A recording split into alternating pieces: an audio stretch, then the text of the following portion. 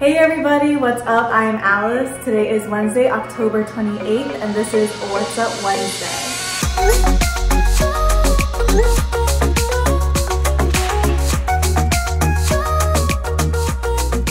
Everyone to episode 3 of What's Up Wednesday. As I said before, my name is Alice. I am a junior studying chemical engineering with a packaging engineering certificate at the Rutgers School of Engineering. I am a School of Engineering ambassador, which means I get to represent the 4,000 students in the School of Engineering um, through prospective student panels, department info sessions, and other on-campus events.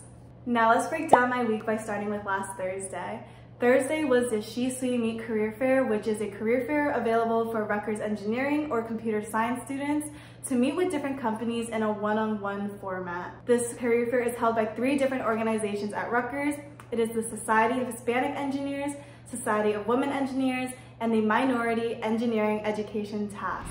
I specifically was able to meet with different companies such as L'Oreal, Unilever, Stryker, Merck, and Regeneron. I overall found the event very successful because I was able to learn more about the company values, internship opportunities, and co-op opportunities.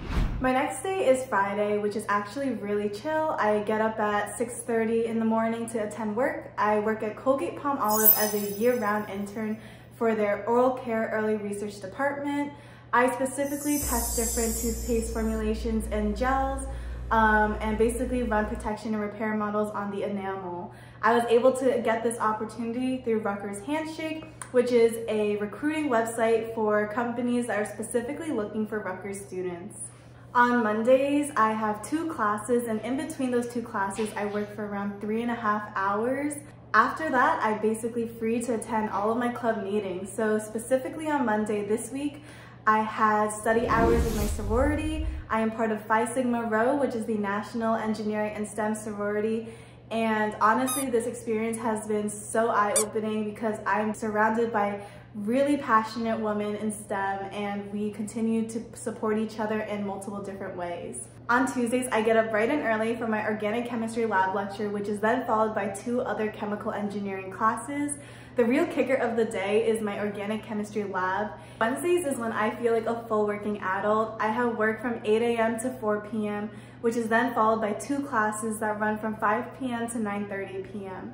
And even though it may seem like a really long day, I actually end my day on a really good note because I get to attend my favorite class I'm taking this semester, which is sustainable packaging. Sustainability has always played a huge role in my passions and an example of this is I run a shoe customization business where I take old shoes such as Converse and Vans and basically renew and repurpose them through hand-drawn designs.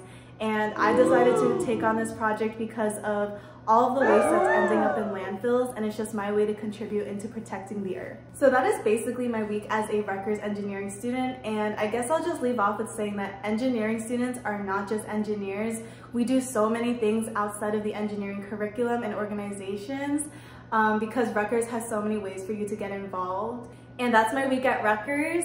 Thank you so much for tuning in and make sure you check back in a couple of weeks to see new episodes of What's Up Wednesday.